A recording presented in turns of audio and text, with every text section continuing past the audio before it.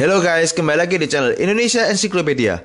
Hari ini topik kita tetap sama dengan minggu-minggu lalu, yaitu kita akan membahas tentang yield curve.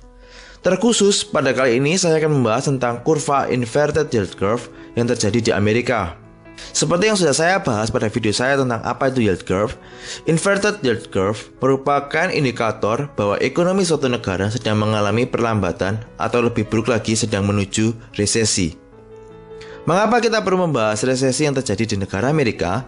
Karena sampai saat ini Amerika masih menjadi pusat perekonomian dunia, sehingga jika terjadi perlambatan ekonomi ataupun resesi di Amerika, maka negara lain pun akan terkena dampaknya, termasuk Indonesia.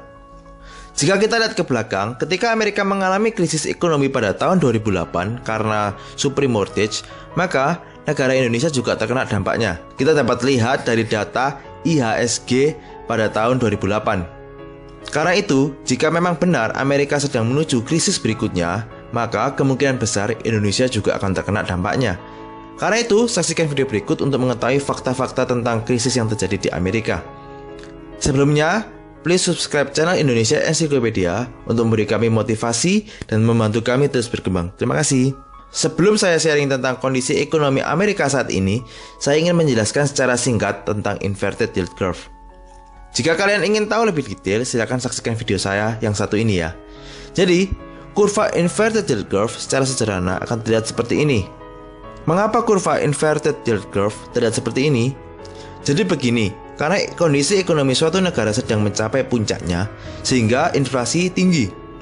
Ketika inflasi tinggi, maka bank sentral akan menaikkan suku bunga untuk menekan inflasi, dan hal ini akan membuat yield untuk jatuh tempo yang pendek meningkat.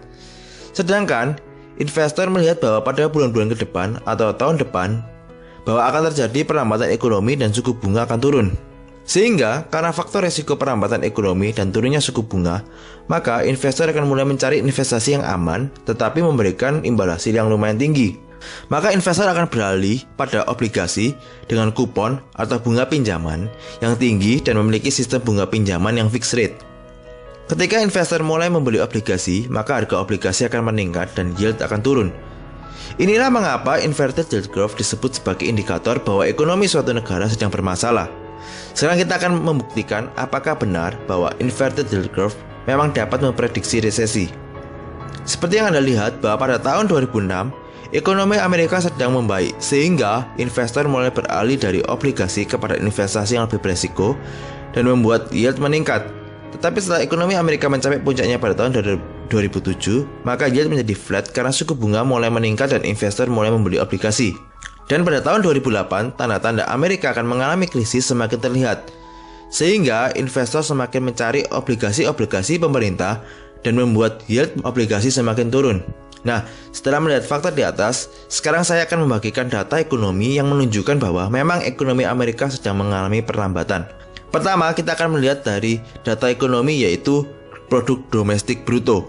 Dari data produk domestik bruto, kita akan mengetahui kegiatan ekonomi suatu negara. Karena rumus untuk mendapatkan nilai produk domestik bruto itu sendiri adalah konsumsi ditambah investasi ditambah pengeluaran pemerintah ditambah ekspor dikurangi impor.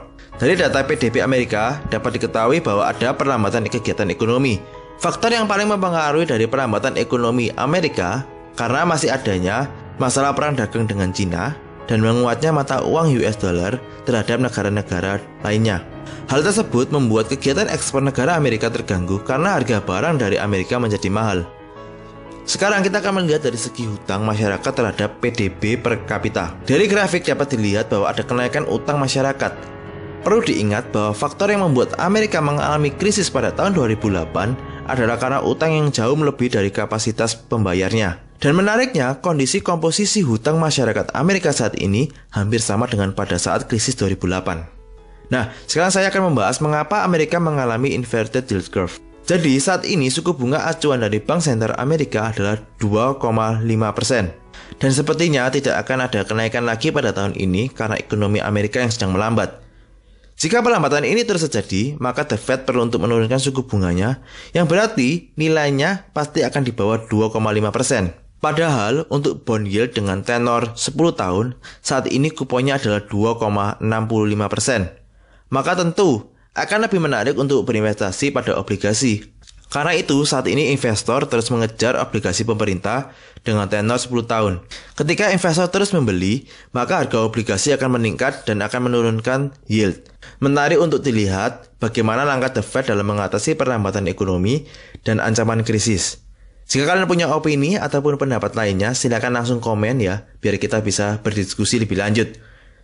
Sekian video saya kali ini, dan sampai jumpa minggu depan ya. Terima kasih.